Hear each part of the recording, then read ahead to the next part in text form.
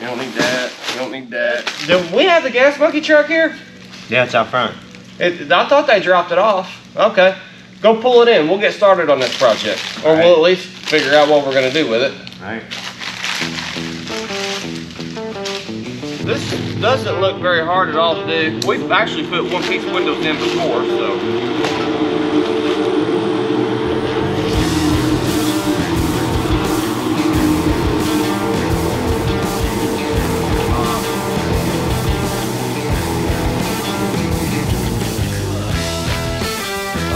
Got the seals laid out here.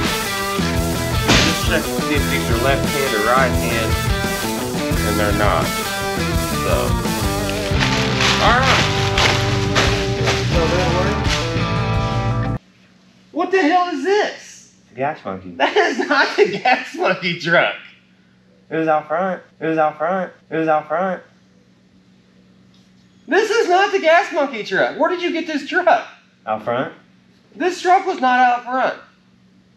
This is not the gas monkey truck. Oh. Are you serious? Get that thing out of here. That's not the gas monkey truck. They didn't drop this off telling me it was a gas monkey truck, did they? No. Well, why would you bring this in here? It looks like it. Oh my god.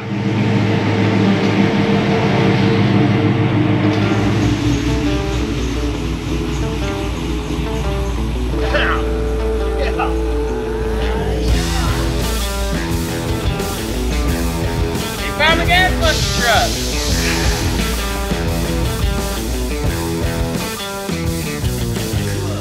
I mean, are you blind? Whoa, whoa, whoa, whoa, whoa, whoa. Get over here. You gotta put my glasses on, dude, because you can't see. Your contacts gotta be blurry.